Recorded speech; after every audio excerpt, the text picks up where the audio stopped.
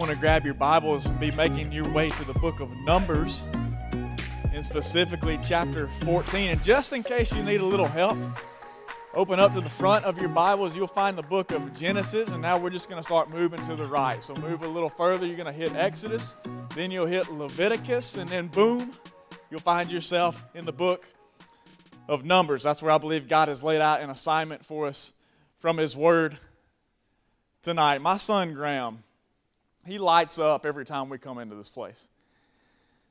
He starts smiling, his eyes brighten, and he tries his best to say church, but typically it comes out more like church, church.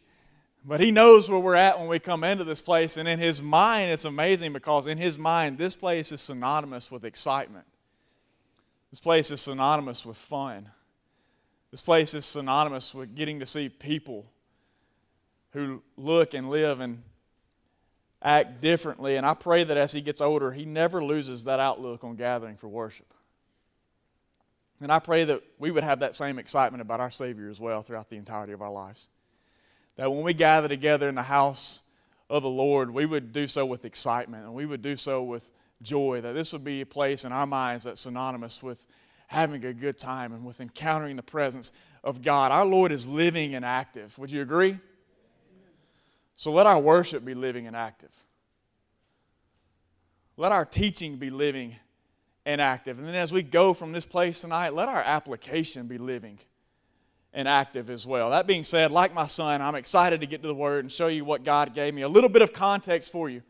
As we move into this passage tonight, God has liberated His people from 400 years of Egyptian bondage, and He has, through Moses, been leading the people through the wilderness towards the promised land.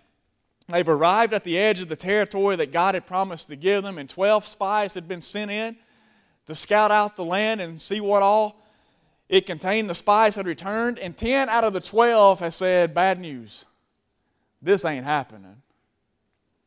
There's no way that we're going into that place. Yes, it's gorgeous. Yes, it is prime real estate, but that place is crawling with giants. And there's no way we can enter into this land that God said He was going to give to us. We hate to tell you, but it looks like we're finished. It looks like this is the end of the road for us. It's been a good run. God's done some amazing things, things that we never expected He could do, things that we thought were impossible for Him to do, but it looks like we're coming to the end of the road right here. And what follows in Numbers chapter 14 is the response of the people to the report of the spies. So God's word says, starting in verse 1 Then all the congregation raised a loud cry, and the people wept that night. And all the people of Israel grumbled against Moses and Aaron. And the whole congregation said to them, Would that we had died in the land of Egypt, or would that we had died in this wilderness. Why is the Lord bringing us into this land to fall by the sword? Our wives and our little ones will become a prey. Would it not be better for us to go back to Egypt? And then they said to one another, Let us choose a leader and go back to Egypt.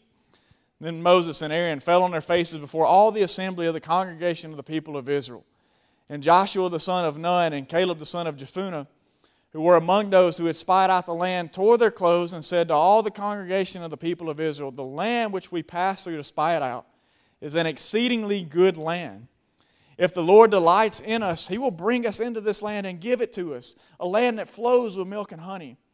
Only do not rebel against the Lord, and do not fear the people of the land, for they are bread for us. Their protection is removed from them and the Lord is with us. Do not fear them. Then all the congregation said to stone them with stones. But the glory of the Lord appeared at the tent of meeting to all the people of Israel. And the Lord said to Moses, How long will this people despise me? And how long will they not believe in me in spite of all the signs that I have done among them? I will strike them with the pestilence and disinherit them, and I will make of you a nation greater and mightier than they.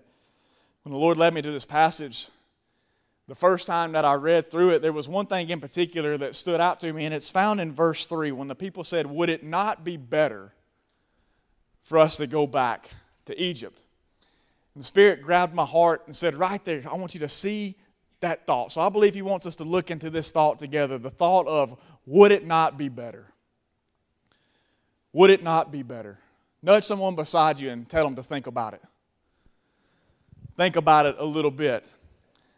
Would it not be better? I want you to think about that a little bit as we work through this message together tonight because I've come to realize more and more lately just how much our choices are filtered through and guided by what we believe is better.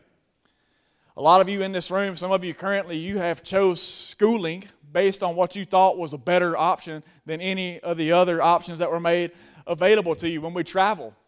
You will choose a destination and then hopefully you will choose lodging based on what you think is better. So when we consider a family vacation, we think, well, what's going to be the best thing for us? What are we going to enjoy the most? And where are we going to stay at that's going to benefit us the most in having that experience? The same thing goes with food. You sit down at the restaurant and they hand you the menu. All those different choices that you've got on there. In that moment, what seems better than everything else is what you go with. It's the same way with the cars we drive. Some of you are Chevy people. Some of you are like Ford until I die. Some of you Toyota, some of you Dodge, some of you Lexus, some of you Land Rover, those of you that are really blessed. some of us would like to choose what's better, we just can't. We're the same way with what we drink. Whether you're Mountain Dew or Dr. Pepper, Coke or Pepsi, one or the other, don't none of y'all drink water because you enjoy it. You do it just because it's the better choice, right? Everybody else are having Coke, everybody else having sweet tea, and there's that one person at the table that's going to start the trend of everybody else has got to get water because that's a better option for us. Don't tell me that you drink water because you enjoy it. Why do y'all think they come up with those Mios and Kool Aid pouches? Because we feel like we had to drink water because it's the better option, but we can't really stand to drink it. It's the same way with daycare parents. You're going to have the best for your kids, aren't you? So when it comes to finding somebody to take care of them, you're going to choose the better option or what you think is the better option for your daycare. Same way with relationships. We choose what we feel like benefits us the most. Even in relationships, the same thing with clothes. You put on clothes or you buy clothes based on what you think you look the best in. Some of you could do a little better job of picking things out. but for the most part, we're going to put on what we think we look Best in the same way with shoes. We buy shoes because we like the style of them, we like the looks of them. The same way with sports. We choose to play one sport over the other because we enjoy it the most. Our lives are full of different choices that more times than not, we're going to go with what we believe to be the better option. And so here stand the Israelites right on the edge of promise, but there's a problem. You ever been on the edge of promise and encountered a problem? They're standing right on the edge of promise, but there's a problem. It doesn't seem possible. And then the thought shows up would it not be better to just go back to Egypt? And I really want you to search this with me because when it comes to the paths and purposes of God, whether we realize it or not, we're entertaining and assessing the same thought. So I think it's important that we peek at the reasoning these people used, and we'll call it for the sake of fun their Israelite intuition, so to speak what guided them into making these kind of thoughts and what steered these thoughts when they asked that question would it not be better for us to go back to Egypt? So I want to look at some particular things that were driving forces behind why I think they asked that question. The first of which they thought, would it not be better to turn back? So when I see the Israelite people standing on the edge of promise and they're looking into the land that God's given them, but they see that it's full of giants and it seems like it's going to be unconquerable when they say, Would it not be better to go back? What I really hear is, Would it not be better to turn back around? Go back and look in verse 2 with me. It says, All the people of Israel grumbled against Moses and Aaron. The whole congregation said to them, Would that we had died in the land of Egypt, or would that we had died in the wilderness? Why is the Lord bringing us into this land to fall by the sword? Our wives and our little ones will become a prey. Would it not be better for us to go back. So after listening to the report, the murmuring starts and then it begins to spread. The only thing that spreads faster than an actual virus is a bunch of murmuring. Believing that certain death was what awaited them, the people cry out, We could have died in Egypt. We could have died in the wilderness. Good job, Moses. Good job, Aaron. Appreciate you bringing us out. Hey, by the way, thank you, God. Thank you for bringing us out of bondage so we could come out here and just die. Appreciate it. Good job all the way around the leadership circle. Thank you very much. In the wake of that, they hatched the idea let's just turn back, let's retreat. After all, that'd be better than remaining here and dying, wouldn't it? Seems like a better option to me. Seems like a better option to them, and it seems ridiculous to us, right? Because we know the rest of the story. And we know the story in its entirety. So that's why it kind of seems ridiculous that the people would say this at this point, because we know what they witnessed. We know that they experienced amazing things at the hand of God up to this point. I mean, He liberated them from bondage, He sent the plagues that convinced Pharaoh and the Egyptians to let them loose on their way to escape. He parted the Red Sea so that they could pass through. On top of that, each and every morning, they had bread from heaven. In the afternoon, they had quail from heaven. And then when they got thirsty, God provided water from rocks. Now, I don't know how many of y'all have went outside lately and smashed rocks that were laying on the ground, but typically water doesn't come out of that. And it seems ridiculous because we know all the things that God had done for them up until this point. That's why we don't really like studying the Israelites, I think. It's because they remind us too much of us. So often, we're moving right along in life and then we run into something difficult or challenging. It may even seem impossible, it may even seem unattainable. And we get intimidated. And what do we do? we decide maybe it would be better to just turn back. This calling that God placed upon my life, do y'all know how many times I've wanted to turn back? I know the feeling. We know that God's got a plan. We know that God's got a purpose. We know that God has laid out a path, and we're doing our best to follow Him on that. And then a challenge shows up, and when it seems like we can't cross it, the thought comes up would it not be better to just turn back? I fully believe there are some people here that were at one time following the, the path God was leading you down. And something showed up that challenged you, whether it be a financial struggle, whether it be a discouraging word from a family member whether it be friends that deserted you in the midst of what you were pursuing, or whether it be a physical condition that you haven't had to deal with at any other time in your life, something showed up that challenged you, and then forgetting about all the ways God has provided for you in the past, you decided in that moment it's time to turn back. But there's something else that that question brings to mind that I think fueled it for the Israelites as they got in. It's not just would it not be better to turn back, but would it not be better to choose comfort? Go back and look at verse 4. It says, They said to one another, Let us choose a leader and let us go back to Egypt. Now, it wasn't just the decision to turn back that I want you to notice. I need you to notice the destination that they were choosing to go back to as well. Egypt was the place of their bondage. Egypt was the place of their oppression. Egypt was the place of their pain and their heartache. So, why in the world would they think it better to go back to that place? I'll tell you why because it was comfortable to them.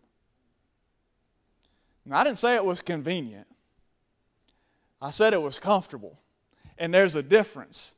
Comfortable is relaxing, comfortable feels nice, comfortable is non stress related. Convenient just makes life easy. And as strange as it may sound, from my life experience and, and from watching the life experiences of others, more times than not, people will trade convenience for comfort.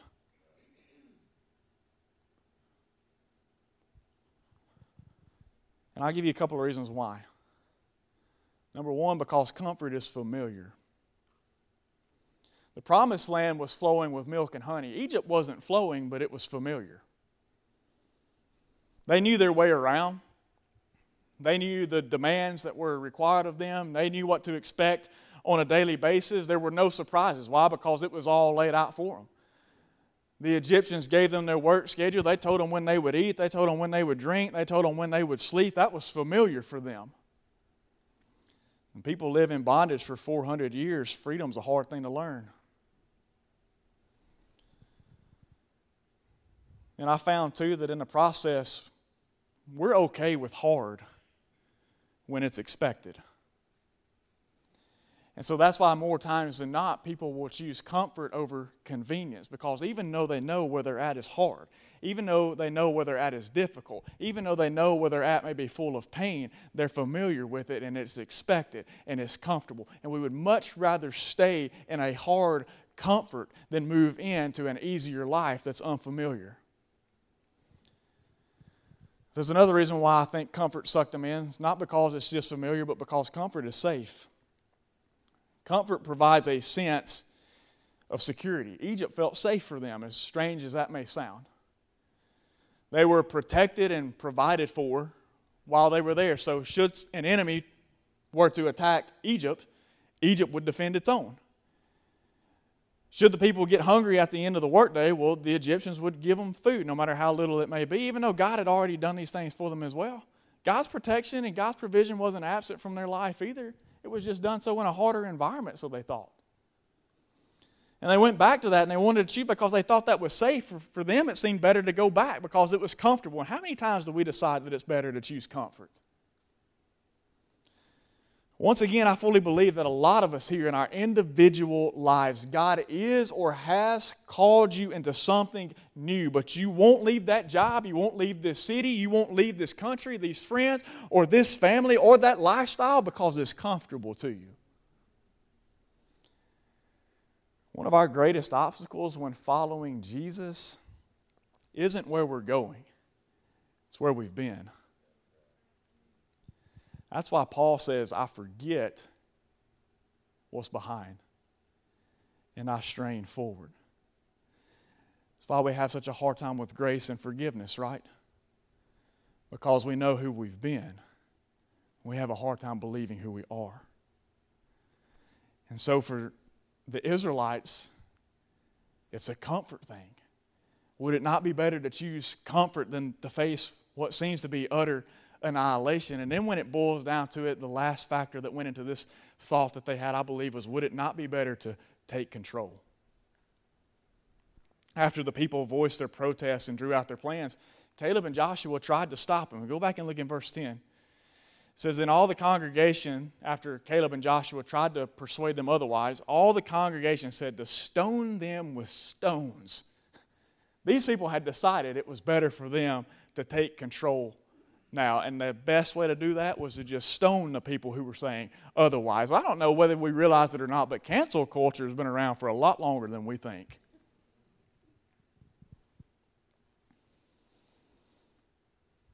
This is the climax of what's better, isn't it? Is it not? Nothing's better than me having control. I have this real issue with riding in cars with people because I'm not in control. So, given the opportunity, I'm driving. It doesn't matter. My wife, in the seven years we've been married, has maybe driven me around a total of three and a half minutes in all the years that we've been married because it's a control thing for me. And if I'm riding with somebody, it is driving me nuts because I don't have control of that steering wheel. I don't have control of that gas pedal. Most importantly, I don't have control of that brake. So I will wear out the passenger floorboard in your vehicle if you let me ride the whole time just pushing my foot down.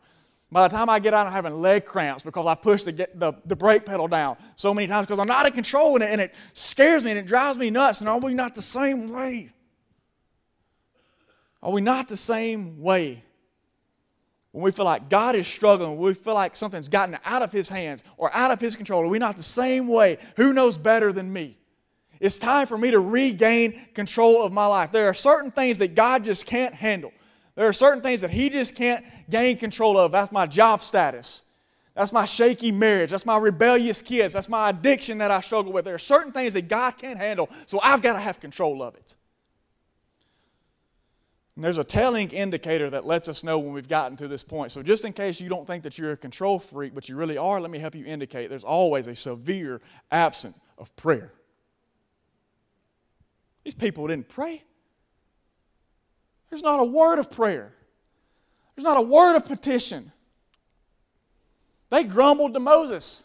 Instead of pouting to Moses, should have been praying to God. No prayer. They wanted to regain control. But there's two sides to this.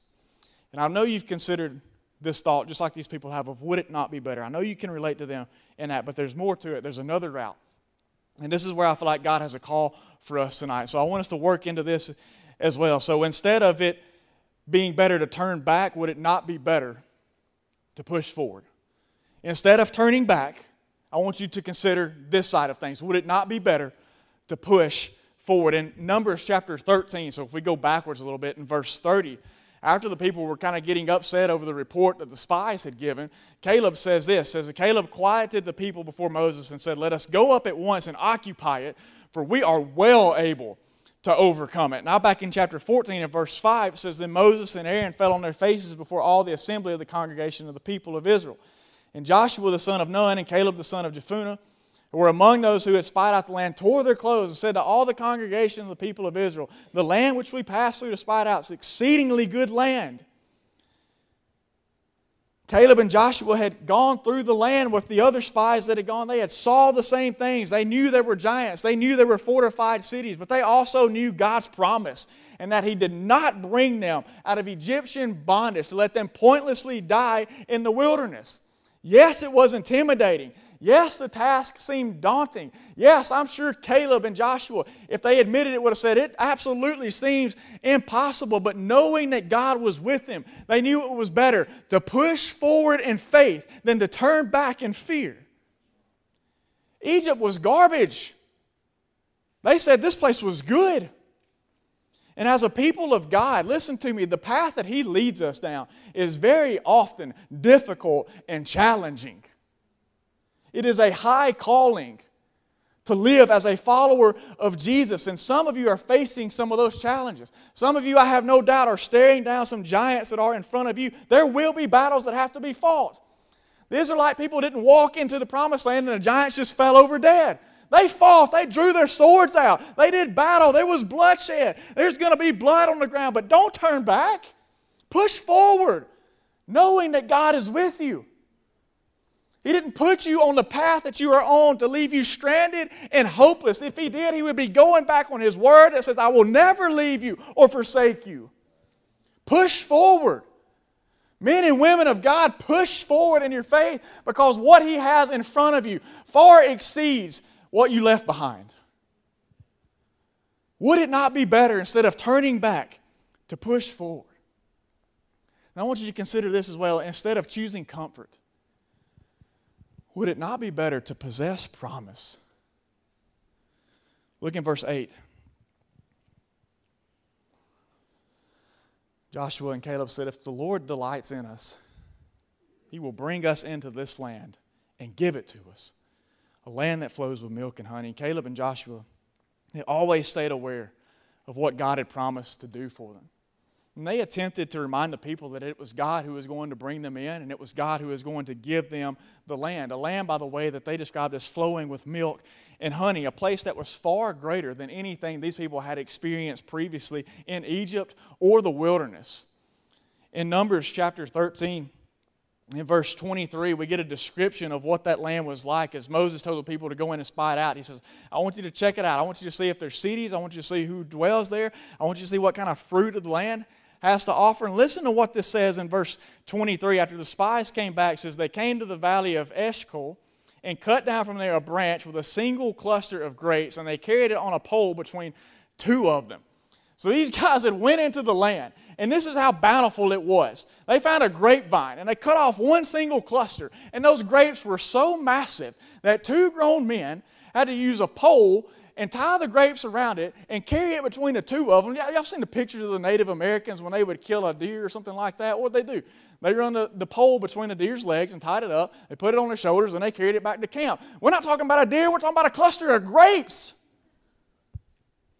That's how beautiful this land was. That signifies how great of a blessing that God was trying to bring into the lives of His people. We're all guilty of having our comforts, are we not? I get it. I've got plenty of comforts in my life that I don't want to relinquish. But when we surrender our lives to Jesus, there are new places He desires to bring us into. And it's much greater. And it's much more rewarding than any comfort we've ever known. And I'm not saying that Jesus is trying to give you a huge cluster of grapes. I'm not saying that He's going to give you financial blessing. I'm not saying following Jesus is going to lead to a brand new vehicle or a bigger house or a big old boat. I'm not saying any of those things are going to enter into your life as a, result, as a result of following Jesus. The promise that He's given us to possess is in John 14, 12, where He says, Truly, truly, I say to you, whoever believes in me will also do the works that I do, and greater works than these will he do because I'm going to the Father. The promise that he has given us to inherit is to do greater things. The promise that we'll be his witnesses, that we'll reach people with the gospel and see lives completely transformed and impact the world around us. That we'll see addictions broken and that we'll see strongholds torn down. And we'll see people come to know Jesus and be transformed by the power of his word. Would it not be better to possess those promises and be a part of that blessing than to continue choosing what we feel like and know as comfort?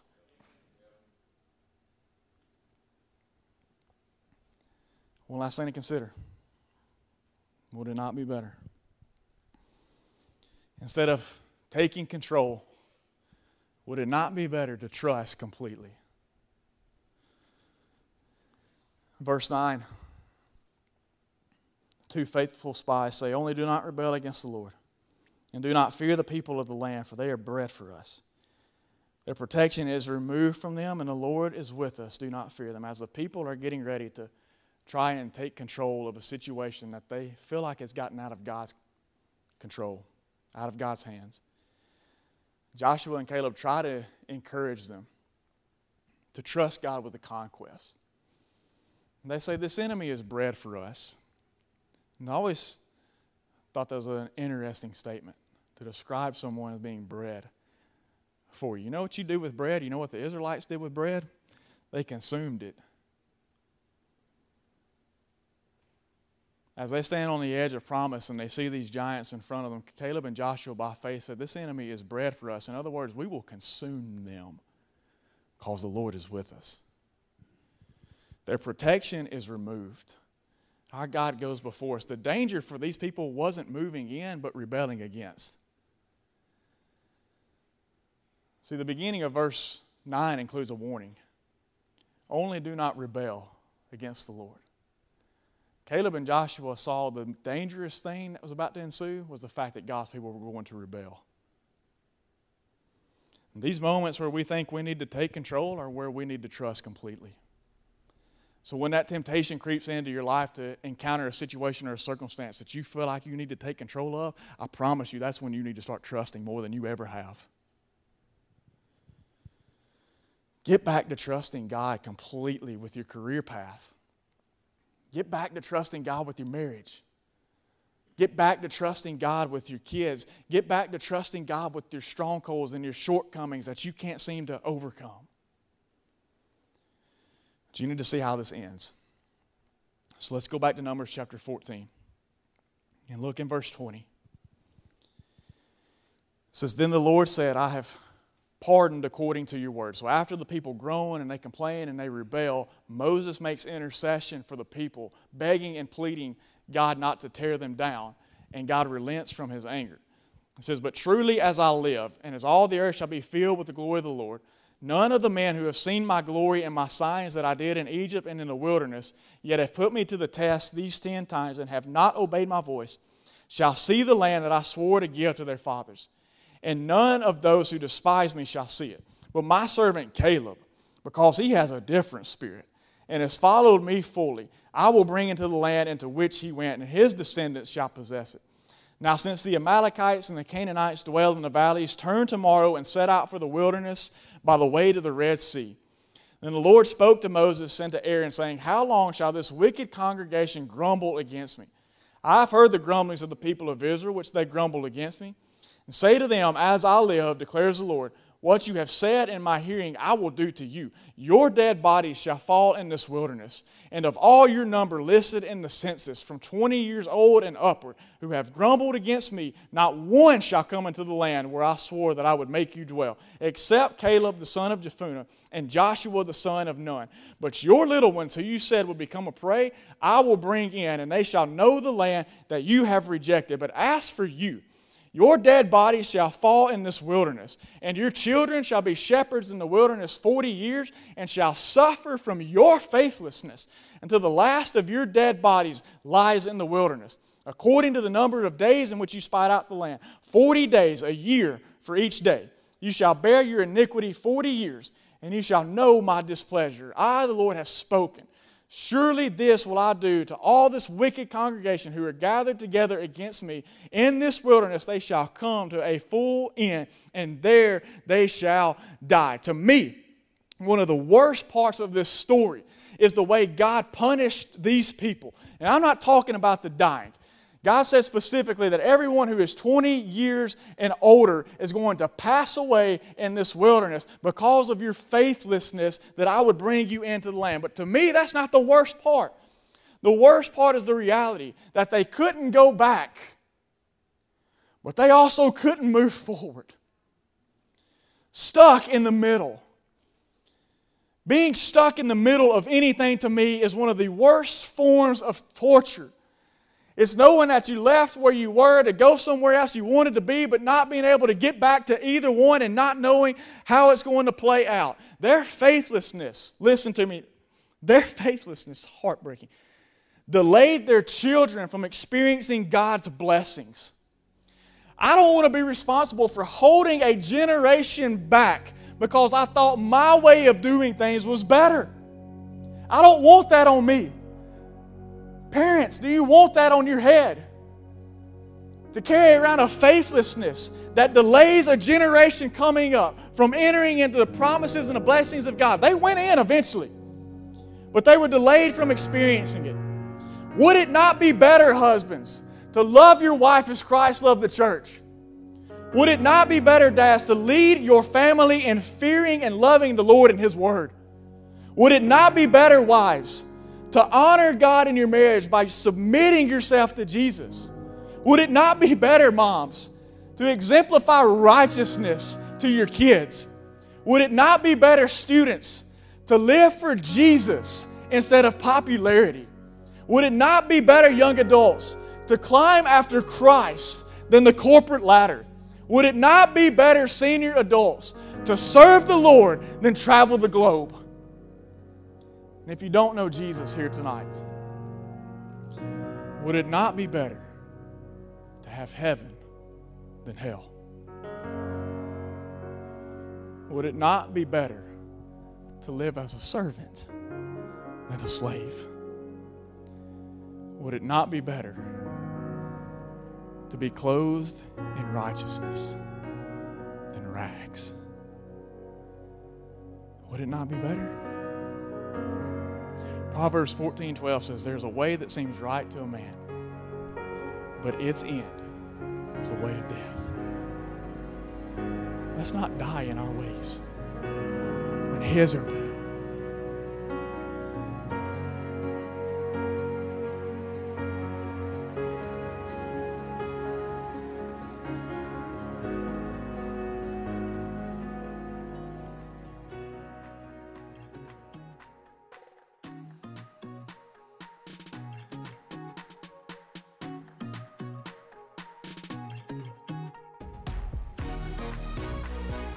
Hey, this is Trey Mitchell, college and young adult pastor.